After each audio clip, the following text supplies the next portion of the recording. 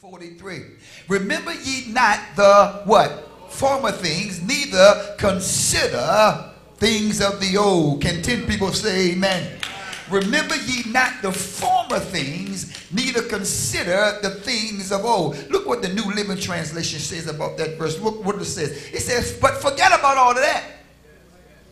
it is nothing compared to what I'm going to do Come on, say amen. You, you think God has blessed you in the past, but this right here is going to blow your mind.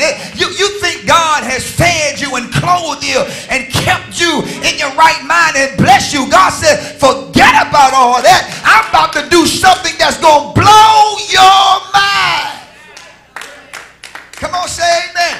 Come on, y'all. This is a current word. This is a right now word. This is a fresh word. God is about to do something in Liberty House that is going to blow everybody and their mama's mind. It's been in the spirit, but God about to fulfill it to the children of God. And God said, when I fulfill it, I'm going to let the world see it. And all you got to do is show forth my praise. Hallelujah. First thing I want to tell y'all today, watch this. It's on the screen. Don't live in the past. Tell somebody, don't live in the past. He says, watch this, ye remember not the former things, neither consider the things of the old. See, at times, watch this, we can't see the new things that God is doing because we are living in the good old days. Come on, y'all. Uh, blinded by God says, but forget about all of that. Paul now, he backs it up and says, forgetting those things that are behind, and I'm reaching for those things that are before I press. Come on, y'all. Do I got anybody in here got a spirit of pressing?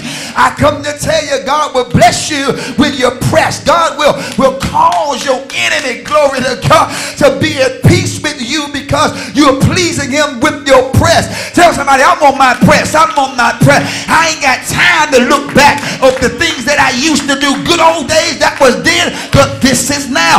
God is about to show up and do something in our lives. God says, but forget about all of that. It is nothing compared to what I'm going to do. Mm.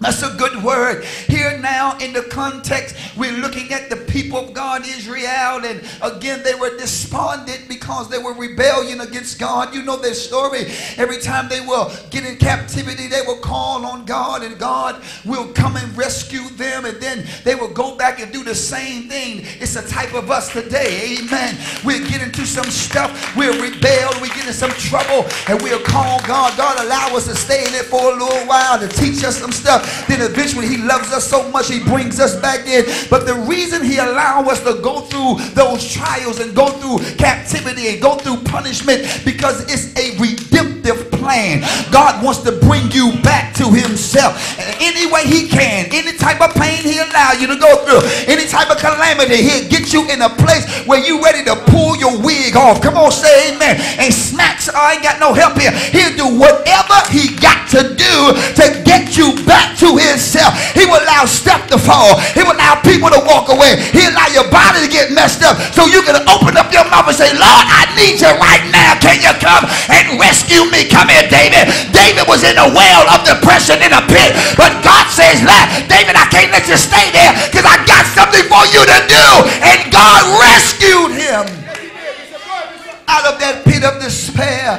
So the people of Israel now they were in captivity. And not only they were in captivity, how they were in captivity was a situation that's unexplainable because they were around a desert land. Even if they were got rescued from their they would have died in the desert. So God says, listen here, neither remember the things of, of the past. Glory to God. I'm about to do a new thing. Behold, glory, see what I'm about to do. You're going to spring forth. I'm going to give you ways in the desert and I'm going to make rivers in the desert. The beast of the field going to honor me. The dragons in the owls going to honor me because what I'm going to do for you in this desert. Glory to God. Because you are my chosen people and you're going to spring forth and you're going to show forth praises unto me.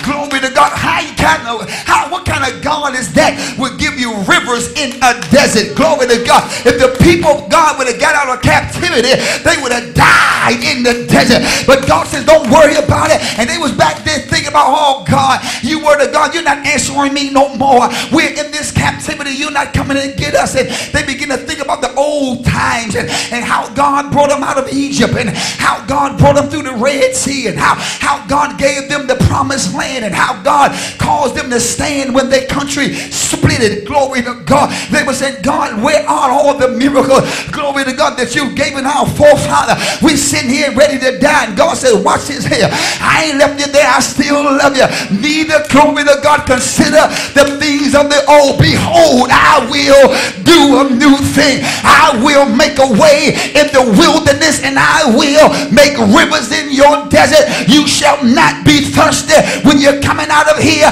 And the owls and the and the dragons will give me praise for what they see I do for my chosen people.